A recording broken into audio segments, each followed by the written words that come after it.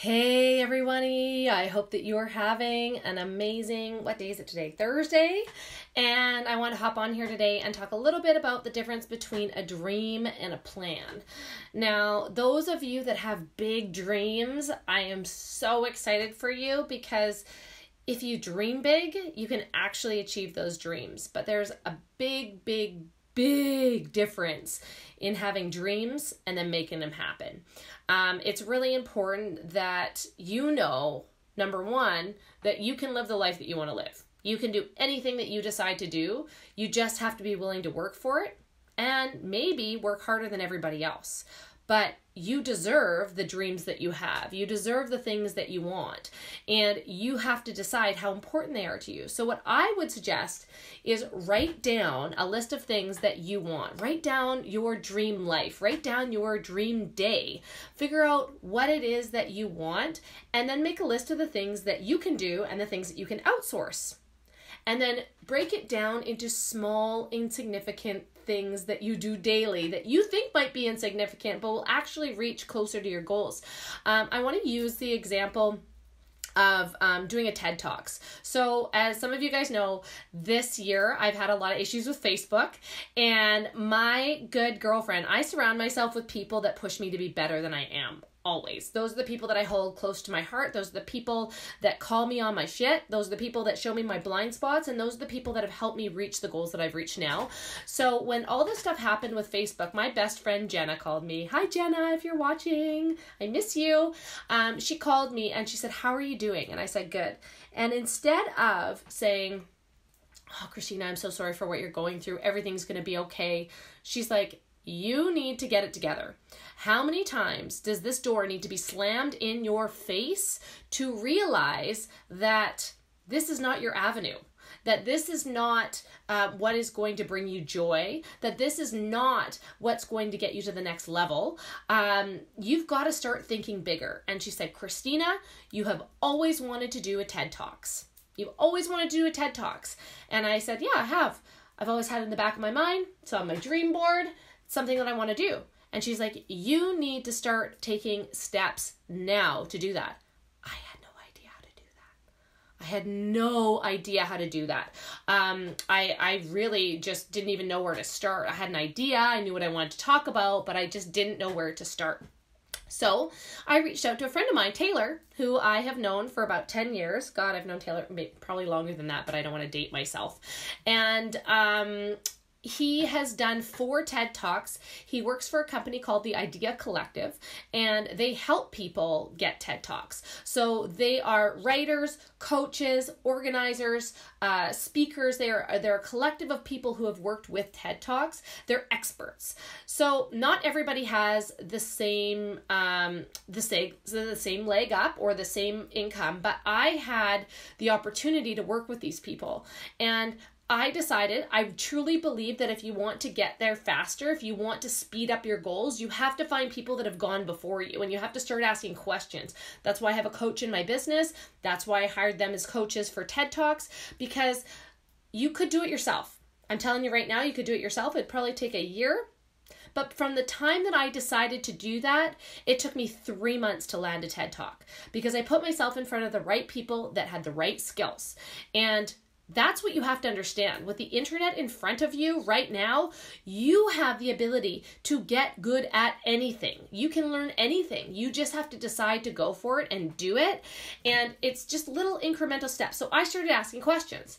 I decided that I was going to work with this coaching team to get crystal clear on my vision, to um, to prepare for the interviews, to prepare for the applications, so that I could go and apply and know exactly what I was going to be asked, know exactly what my focus was, and how to answer questions and get excited, and show them how I would present on a stage, just like I present in a live video.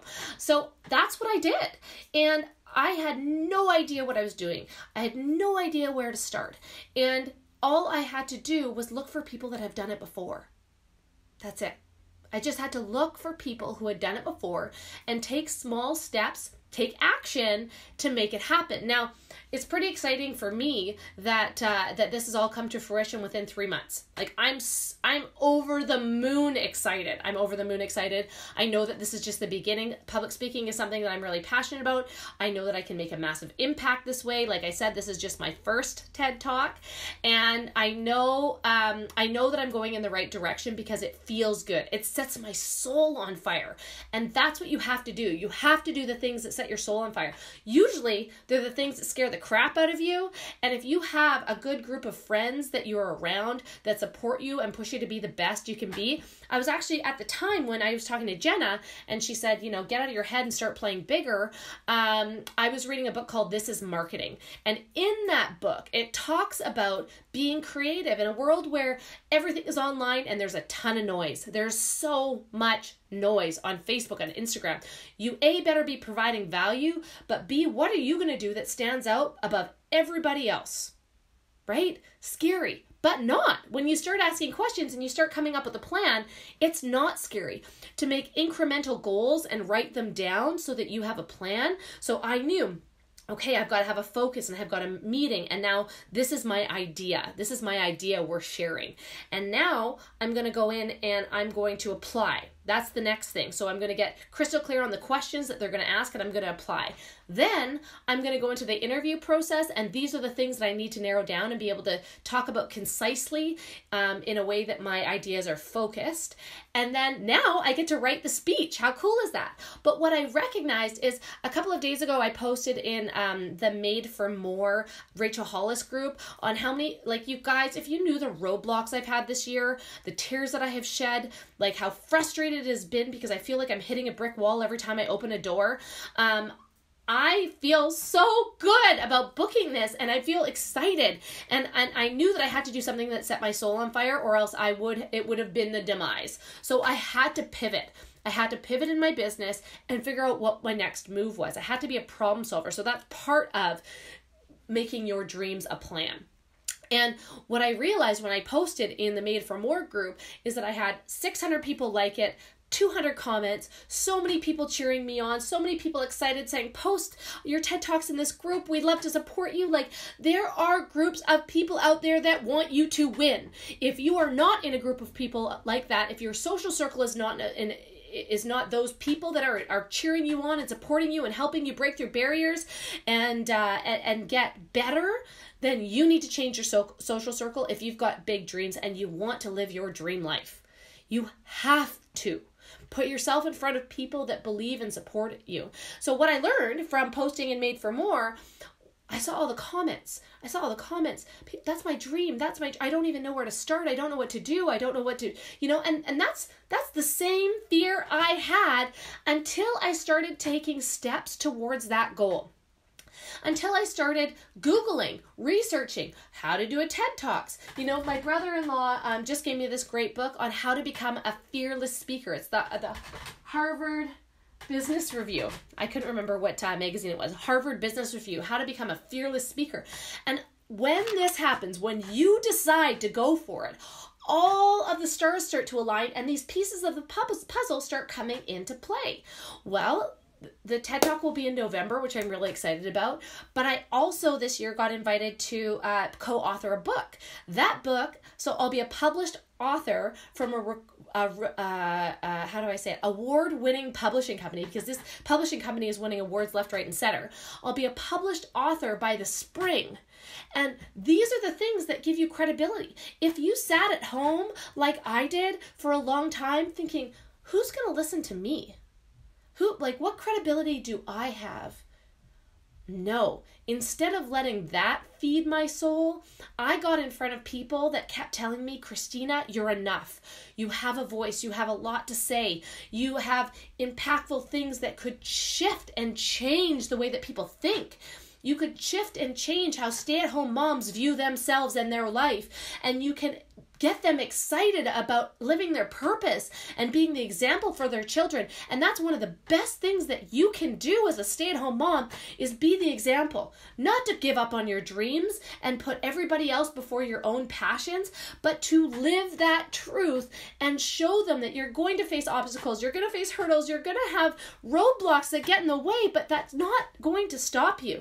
Do you want to know the number one thing that attributes to success the number one thing not money not social status not not networks none of that stuff. It's grit. It's getting over the hump and doing the things daily that will get you towards that goal. And you need grit to turn your dream into a plan and take action and go after it. But what I love is that we decided this a long time ago. We decided, my husband and I decided that we wanted this life. We wanted a life where we would spend a lot of time together as a family. We wanted a life where we would have massive influence on our daughter um, before she went into school because we know what happens in school. We know that, and, and you know, the other thing is is that we'd be able to create an income where she can go afford to go to private school. That never would have happened as a hairstylist and a bartender. It just would not have happened. We wouldn't have had the extra funds to get ahead. I know I've made decisions in my life to give us the life that we want. I know that I've worked really hard to get here, regardless of what other people think or say behind my back.